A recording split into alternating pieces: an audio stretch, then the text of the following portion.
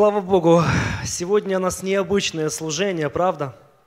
Столько много событий, благословения детей, э, батмицва, э, выпуск. Просто, знаете, когда сюда я поднялся, я уже почувствовал усталость. Но поэтому слава Богу, что у нас есть такая община. Хорошо, друзья. У меня есть слово. Э, маленькая чуть-чуть кафедра, но ничего. Э, тема моего послания, я бы хотел сегодня поговорить о пути моего призвания. Потому что когда Бог призывает человека, и проходит время, когда он входит в свое призвание – есть определенный отрезок жизни, да, и этот отрезок называется, да, длиною в жизнь. И вот я бы хотел бы как примеру взять э, жизнь, жизнь Иосифа. Э, в Писании очень много э, ярких примеров, очень много разных людей, но вот именно его жизнь, она мне больше всего как бы понравилась, где-то, может быть, похожа на, ну, на мою, может быть, на каждого из вас – и его жизнь в общем можно описать не, ну, мы все как бы знаем, да, все мы знаем жизнь Иосифа, да, мы его знаем хорошо историю. И если не смотреть на конечный результат, то его жизнь э, можно описать простым таким предложением, да. Э, почему жизнь ко мне такая несправедливая? Мы бывает часто задаем такой себе вопрос, да, почему жизнь такая несправедлива ко мне? И также можно его жизнь записать в нескольких словах. Это брошен в яму, заключен в темницу и загнан точно в лунку. И его история начинается с 17 лет, с подросткового возраста. Особо беззаботная жизнь, э, наблюдать за тем, как его братья, которые не совсем его долюбливают, за определенные вещи пасут овечек – любоваться красивой одеждой, которую подарил э, да, ему отец. Вот. Ну и, конечно, находиться в кругу семьи, которая очень сильно любит, потому что мы читаем Писание о том, что он был любимый сын, да, ну, у своего отца. И, в принципе, как бы особо не э, беззаботная жизнь. И вот я хочу почитать, а, в принципе, его э, его призвание начинается с такого раннего возраста. И, э, знаете, огро... хочу сказать больше, конечно, э, э, молодежи, огромное благословение жи... ну, жить в христианской семье. Да?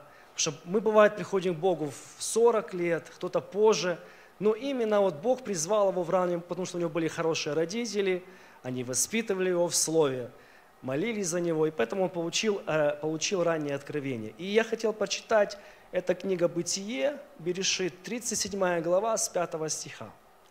И вот тут написано, «И видел Иосиф сон, и рассказал братьям своим, и они возненавидели его еще более. И сказал им, выслушайте сон, который я видел. Вот мы вяжем снопы посреди поля, и вот сноп – встал прямо, и вот ваши снопы стали кругом и поклонились моему снопу. Очень хороший сон, но это еще не конец. И сказали ему братья его, неужели ты будешь царствовать над нами, неужели ты будешь владеть нами? И возненавидели его еще более за сны его и за слова его. И видел он еще другой сон, и рассказал его братьям своим, говоря, вот я видел еще сон, вот солнце и луна и одиннадцать звезд, поклонились мне. Вот такой вот сон он видел, и, конечно же, он рассказал его братьям. Интересный момент, да, если бы кто из вас живет, ну, живет находится в, в большой семье, там, многодетной или просто в большой семье, и не совсем у вас, может быть, хорошие отношения, и представьте себе, вам снится такой сон. Снится вам, что э, ваши братья, которые не совсем вас любят, поклоняются вам. Ну и все, может быть, люди вокруг, может, кто-то на работе, который тоже не совсем к вам имеет симпатию, э, вам поклоняется. И вот такой сон вам снится. Вот как вы бы себя чувствовали? Вот интересно. Конечно, вы бы не рассказали бы, да? Или наоборот. вы бы, конечно, подошли бы и сказали, знаете, собрали бы всю семью, и говорит, мне такой сон приснился. Я, конечно, вам его не расскажу, но скажу завтра. И вот представляете, да, снится такой сон Иосифу, и он э, его рассказывает. И на самом деле это был очень важный сон. Э, этот сон был э, очень сильный. Он говорил о трех вещах. Он говорил о лидерстве, он говорил о высоком положении, и он говорил о спасении его семьи. И вот, конечно же, он, э, я не думаю, что он знал, какой будет путь, да, ну, его призвания. Он, наверное, ну, думал, что вот ему Бог дал сон, э, он рассказал, и, наверное, быстренько на следующий день все, конечно, поклонятся ему, все признают его великим человеком в семье. Ну, я думаю, что, возможно, были такие у него мысли. Я не думаю, что у него были мысли, что он пройдет все этапы. Но, знаете, тут не так было, как, как хотелось. И что произошло? И его первые шаги, они, первый этап, можно назвать его яма. И вот его первый сон да, в, на пути в призвание начался с ямы. Почему с ямы? Ну, интересно, так природа заложила, что растение, оно растет именно снизу вверх, а не наоборот – и вот, конечно, да, данный период жизни э, был типичен для многих. Э, прошлой неделе да, он нас учил э, очень сильный э, учитель, и говорили о том, что э, он заплатил свою цену да, за, за, ну, за то, что он пришел к Богу. То есть отношения с родителями, ну, самое дорогое, что есть, это твоя семья, которые отказались от него – я помню, когда я тоже пришел к Богу, отец мой сильно обозлился на меня, вообще на нашу семью. Вот. Сейчас, конечно, э, Царство Ему Небесное, он два года как умер. Слава Богу, моя мать жива, и спасибо э, Ольге и Сергею, что они посещали, она до сих пор помнит, когда я посещаю. Спасибо. И вот он сильно обозлился, и, конечно, пришлось где-то заплатить. Я, я люблю своих родителей – знаете, я благодарен, что Бог дал мне таких родителей. Э, благодарен за своего отца, благодарен за свою маму. Я ни капельки не обижаюсь, я просто все отдал Господу. Но был момент очень сложный, я злился, я переживал, мне где-то хотелось отомстить, потому что ну, были очень сложные периоды. И вот этот путь. И, конечно, мы читаем дальше историю, да, что обстоятельства жизни поворачиваются так, что его, э, его э, сажают его в яму, да, когда он, увидели его, он хотел просто увидеть своих братьев, вот, на него обозлились, ну, за все обозлились, потому что он был любимым, любимым сыночком, за все, за одежду и за все. И вот его решают убить. Но, слава Богу, что есть в семье, э, не все тебя ненавидят, кто-то тебя не, не, немного ненавидит, вот. Они... А? Да, ну немного так, не совсем. И слава Богу, что есть э, братья, да, которые говорят, ну давайте мы его не убьем, там, давайте мы не будем его убивать. И вот ситуация так, да, что он э, находится во рву, потом его продают измалитянам в рабство за символическую сумму, потом измалитяне в Египте продают Иосифа Патифару, вот. И вот такая вот цепная реакция, значит, событие за событие. Вот когда мы приходим к Богу, да, иногда бывают такие моменты.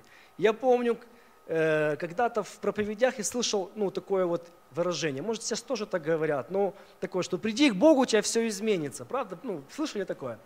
Приди в Богу, у тебя все, все поменяется. Не, на самом деле все изменится.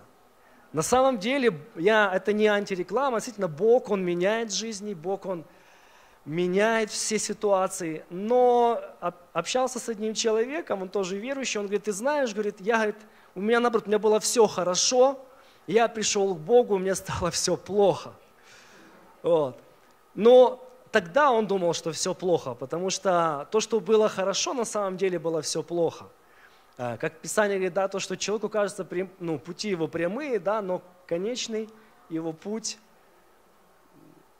это, да, путь в неизвестность, в ад. Поэтому на самом деле, когда мы приходим к Богу, ситуации могут меняться. Бог работает с нашей жизнью.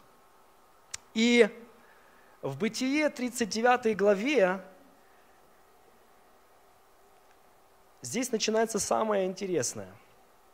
Сейчас я открою Бытие 39 глава. С первого стиха. И вот мы видим, да, тяжелый путь. Он проходит яму с одного события в другое, его продают измаильтянам, потом, то есть, ну, как-то особо он вроде привык к яме, думает, ну ладно, уже смирюсь, потом продают, думаю, ладно, прокачусь немножко, а потом его э, продают опять Патифару. Вот такие вот события. И вот в Бытие 39 глава интересный момент.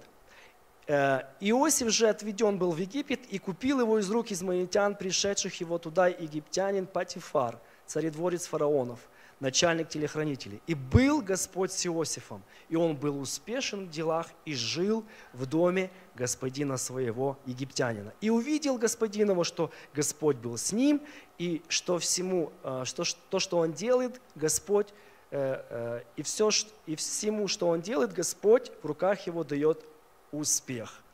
Потрясающе. И вот я хочу сказать хорошую мысль. Даже если с тобой поступили несправедливо – жестоко, предательски, но ты остаешься быть благочестивым человеком, верным Богу, то тебя в любом месте заметят. А заметьте потому что, потому что Бог прославит. Если поступили неправильно, потому что ситуации бывают разные, несправедливо, жестоко, то придет время, когда тебя увидят, потому что с тобой написано «и был Господь с Иосифом». Поэтому не расстраивайтесь. И вот вот у него такой карьерный подъем. Очень, то есть он взлетает до небес. Все хорошо, прошел этот трудный путь в своей жизни, да? Вот. Очень прям мир повернулся к нему лицом. Все начинают улыбаться, здороваться, все хорошо. В карьере у него хорошо, бизнес пошел, покуп, Э, появились у него покупатели, да, ну, у каждого, да, у вас все хорошо, все, все замечательно, так хочется вот быть в таком состоянии, не хочется, чтобы ничего менялось, да, прям все так налаживается, прям хочется парить. Но здесь срабатывает такой закон притяжения, и опять он попадает во второй этап, попадает еще в одну яму. Конечно, скажете, да сколько можно этих ям? Сколько можно? Ну, я обещаю, это последнее. Дальше будет все хорошо. Не переживайте.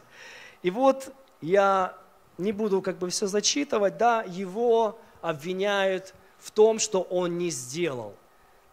Он этого не делал. Это было несправедливое обвинение.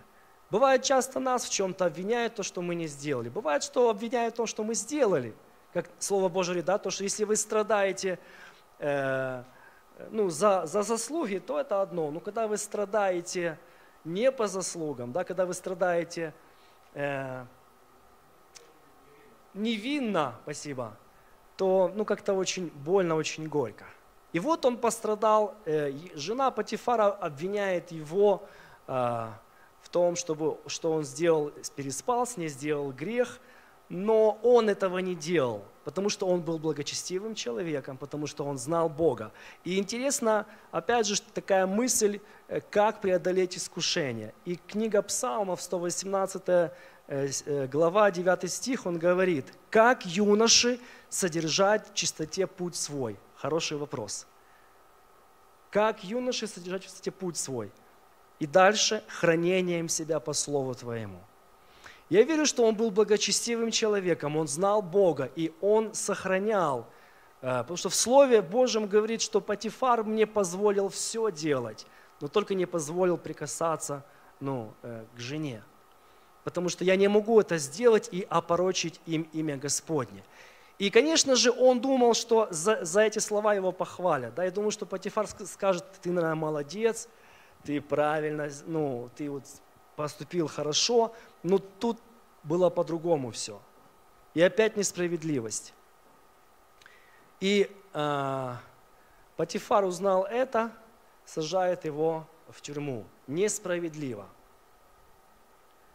И тут самое время, находясь в этой ситуации, когда ты думаешь, что все, все, что было, оно все просто куда-то пропало и провалилось. И находясь в такой ситуации, находясь в этой яме, тут именно самый подходящий момент задать очень хороший вопрос.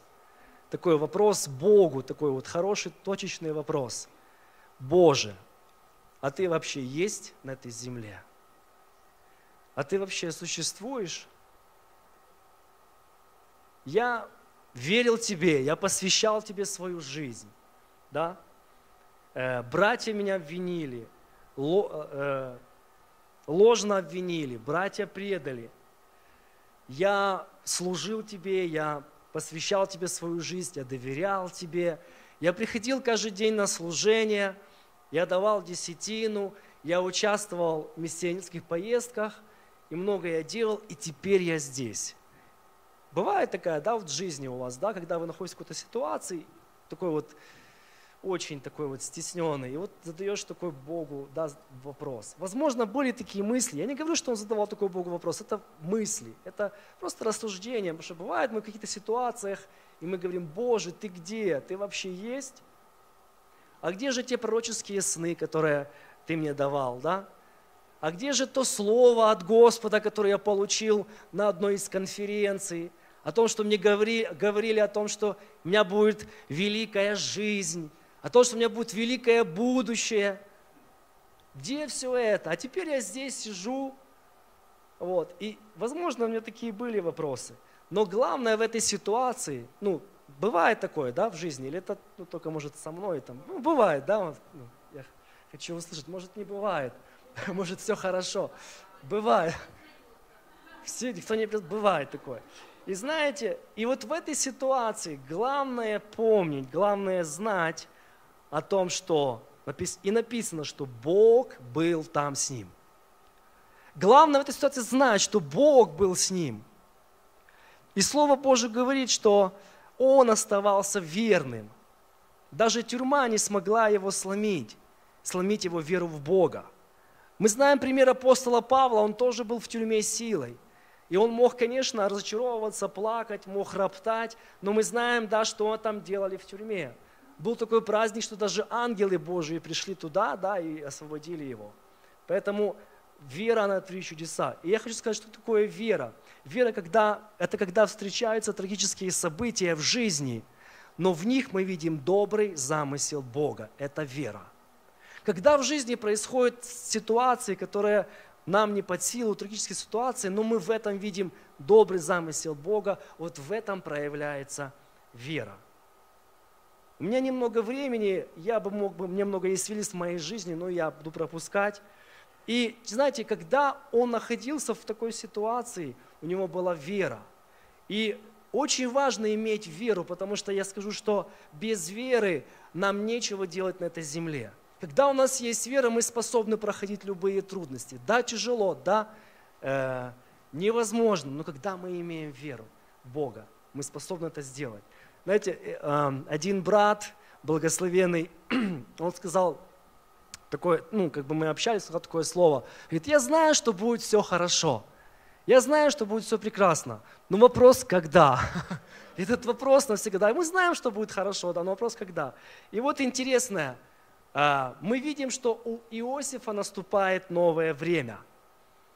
День возвышения. Я бы хотел бы открыть э, ту же книгу Бытие Берешит и прочитать 40, 41, 40, 41 главу 41 э, стиха. Э. «И сказал фараон Иосифу, вот я поставлю тебя над всей землею, и снял фараон перстень свой с руки своей и надел его на руку Иосифа, одел его весонные одежды, возложил золотую цепь на шею ему и велел вести его на, э, на второй из своих колесниц, провозглашать перед ним преклоняйтесь, и поставил его над всей землею египетскую. И вот приходит тот момент в нашей жизни, момент э, Божий, Божье время, Божий момент – после того, как он прошел некоторые трудности, некоторые ситуации, потому что мы должны понимать, какой ему сон приснился. Потом, да, то есть почему он прошел очень такие, ну, как бы, такой вот сложный период. Потому что э, во сне Бог ему сказал о том, что он будет великим человеком, да, о том, что он будет иметь э, положение, власть и спасет свою семью. И вот наступил такой день. После как он прошел эту ситуацию, наступает день коронации. Это Божье время. И чему Бог научил Иосифа и чему эта история учит нас? Она учит нас трем важным вещам, драгоценные. Она учит нас, первое, это смирению, служению, и третье, это вера. Для того, чтобы стать лидером, Бог дал ему во сне да, о том, что он будет лидер – которого Бог мог бы использовать и прославляться, необходимо смирение. Опустившись на э, дно жизни, Иосиф прошел через испытание смирения. Пример Ишо, да, нашего Господа. Писание говорит о том, что э, он был послушен и смирен даже до крестной смерти. Когда мы приходят такие ситуации, когда мы начинаем доказывать или рассказывать о том, что мы правы – Э, то, конечно, время оттягивается, но он прошел это смирение. Второе, Бог тренировал его быть служителем, потому что каждый лидер, он должен уметь служить людям. Людям нужно тоже уметь служить, можно и навредить людям. И каждый служитель, каждый лидер, он должен научиться служить. И Ишуа, он служил людям. Он служил своим временем, своим сердцем, он служил всем, и, и Он послужил нам всей своей жизнью. И третье, Он научил его быть человеком веры. Это очень важно, потому что в этой жизни мы сталкиваемся с разными проблемами. А без веры нам просто мы не сможем пройти. И э, что, что значит научил быть э, человеком веры? Э, это полное доверие Богу. Он полностью разочаровался где-то в людях через разные события, и это научило его полагаться полностью на Бога. Он понял, что его сила э, не в братьях, не в людях, не э, в положении, не в финансах. Его сила только в Боге. И Писание говорит, что Бог провел его через весь этот процесс. Именно Бог провел, не, не дьявол. Да, Писание говорит, что Бог провел его, да? Также он говорит, что э, Слово Господне испытало его. И в этой ситуации мы можем злиться, когда приходят разные проблемы, мы можем злиться на людей. Мы можем обвинять людей, почему, за что, для чего, как. Но если Бог тебя проводит через эту ситуацию, у тебя есть два варианта. Или возмущаться, или кого-то критиковать, или просто смириться, смириться для Бога, потому что придет Божье время – да, и Бог вознесет. Иосиф находился в тюрьме. Почему? Не для того, чтобы просто Бог избавил его, а для того, чтобы показать этому, этой ситуации, что есть люди, которых ситуации не смогут сломить. Бог помещает трех еврейских юношей в огненную печь. Мы знаем эту историю, да? Сидрах, Месах и Авданага, которые не преклонились истукану. Для чего? Я думаю, не для того. Конечно, Бог освобождает, но не для того, друзья мои. Не для того, чтобы просто освободить из печи, а для того, чтобы э, показать огню и всем окружающим, что есть люди, которых огонь не может сжечь. Потому что эти люди, они уповают на Бога, они верят в Бога. Бог поместил Ноя в ковчег – для чего? Не просто его спасти, а для того, чтобы показать, что есть люди, которых не позволено утонуть. И много есть примеров про Даниила. И также хочу сказать каждому из нас, себе, всем нам. Бог поместил каждого из вас в семью. И, конечно, может быть, не, не совсем богатую семью, как есть, да, семьи, может, не совсем в семью, где каждый день тебе говорят, что я тебя люблю, ты такой прекрасный, такая прекрасная. А потом, не, говорят потому, что, может быть, э, моего отца или мать не научили это говорить. Вот. И, конечно, можно возмущаться, можно сказать, я ухожу с этой семьи, вот, это не такая семья, как вон у моей, моей, моей подружки. Но ты можешь стать примером этой семьи, ты можешь стать источником Божьего благословения в этой семье. И ты можешь говорить первый в, эту, в, в этой семье, что э, э, о любви. Также Бог поместил каждого из нас в церковь. Да, правда? В общину. Вот. И, возможно, э, это не такая церковь, не такая община, как есть, мы знаем. Вот. Возможно, очень строгие какие-то правила. Возможно, где-то кого-то незаслуженно поставили на замечание, может заслуженно. Может быть, мало кто здоровается, может быть, приветствуется, может быть, как обычно такое слово, нет любви, там лучше любви. Но если Бог поместил э, каждого из нас в то место, я думаю, что можно сделать второй, э, второе решение, да, стать этим благословением, начать здороваться, начать улыбаться, начать говорить хорошие слова. И если нужно пройти какой-то период сложный в жизни, я думаю, что его нужно пройти. Возможно, Бог приготовил для тебя свое призвание. Возможно, Бог приготовил что-то важное для тебя. И как бы не хотелось, чтобы просто человек прошел мимо своего призвания. Бог, Бог может поместить нас в любые ситуации, в любые сложности. И эти ситуации будут смотреть нам в лицо. Знаете, и задавать нам один и тот же вопрос. Кто ты? Любая ситуация смотрит в лицо и задает вопрос, кто ты. Но мы знаем, кто мы. Мы дети живого Бога. Мы имеем веру в Бога. И мы знаем, что Бог, Бог с нами. И в завершение хочу сказать, что Бог каждого из нас призвал. Нету бездарных людей. Если вы на этом месте, если вы родились, значит у Бога есть соответствующее к вам призвание. И между призывом и вхождением Его есть отрезок жизни, который нам нужно пройти. Какая бы там ни была ситуация в жизни, или в семье, или на работе, или даже в общине, возможно, несправедливая, смотря на жизнь Иосифа, мы можем видеть, что на его конечный результат, да, а конечный результат, он не был трагичен. Да? Конечный результат – это он был в благословении. Он стал человеком, э, через которого спаслась его семья.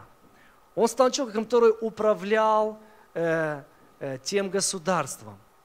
Он стал сильным человеком. И я верю, что когда вы пройдете через эти трудности и проблемы, вы станете также этим человеком.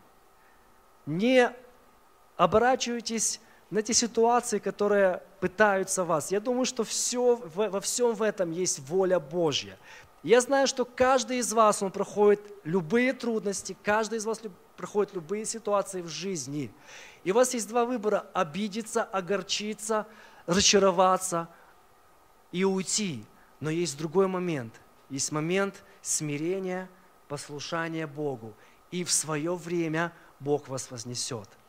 Поэтому пусть Бог благословит вас пройти свое время в ход свое призвание. Пусть Бог благословит вас не разочаровываться, потому что впереди ждет большая награда. Впереди ждет награда, спасение, благословение. Поэтому пусть Бог благословит вас. Доверяйте Богу, ведь с Ним возможно все. Аллилуйя. И давайте мы сейчас помолимся, чтобы Бог, если, может быть, кто-то из вас, он проходит сложный период жизни, кто-то из вас проходит, может быть, какие-то ямы, одну, вторую, а может быть даже больше, то сейчас это время просто помолиться, отдать все Богу, где-то смириться – где сказать, Господи, все в Твоих руках. Возможно, кто, что-то с вами, кто-то поступил несправедливо. Несправедливо. И это часто бывает. Просто доверьте все Богу. Отдайте все Богу. И мы сейчас будем молиться. Если вы проходите ситуацию, вы можете встать, вы можете выйти вперед. И служителя пастора они будут молиться за вас, чтобы Бог дал вам силы, дал вам понимание, дал вам веры устоять и пройти эту ситуацию. Аллилуйя. Отец Небесный, мы благодарны Тебе за Твою милость. Мы благодарны Тебе, что мы Твои дети. Мы благодарны Тебе, что Ты показал нам пример идти по этой жизни. Мы благодарны Тебе, что смотря на Тебя, смотря на Тебя, как смотрел Петр, мы сможем пройти по волнам этого мира. Боже, я прошу Тебя, благослови каждого брата, каждую сестру. Благослови, Господь, смотреть на Тебя. Благослови, Боже, нас смирением, благослови послушанием, пройти этот путь входа в свое призвание. Я молю Тебя, Господи, за тех, кто, кому совсем тяжело. И, возможно, мы задаем такие вопросы, Боже, где Ты? Боже, где Ты? Но Ты рядом, Ты не оставляешь. Боже, и этот сегодняшний момент, это слово, что Ты всегда рядом, что Бог был с Иосифом, и Бог будет со мной. Пусть этот момент, он сегодня э, восстанет в нашем сердце. Он сегодня наполнит наше сердце, что Бог, Он со мной, что Бог, Он рядом. Во имя Иешуа. Благослови, благослови, Боже, Твою общину, благослови Твой народ, благослови каждого здесь стоящего. Во имя Иешуа. Каждый год мы говорим о целях последующего года. И этот год для общины Орхамашиях, Бетель и других общин, которые в сотрудничестве, не является исключением. Для нас следующий год – это послание к евреям, 11 глава, 1 стих. Этот стих все знают, где говорится о надежде, где говорится о вере. Я хочу зачитать вам его. Вера же есть осуществление ожидаемого и уверенность в невидимом. Ожидание. Как долго, когда это придет, мы не знаем. Но мы уверены в том, что это придет. И мы говорим о том, что еще невидимое станет явным здесь на земле. И наши ожидания в нашей вере, они будут проводить, приводить к большим переменам.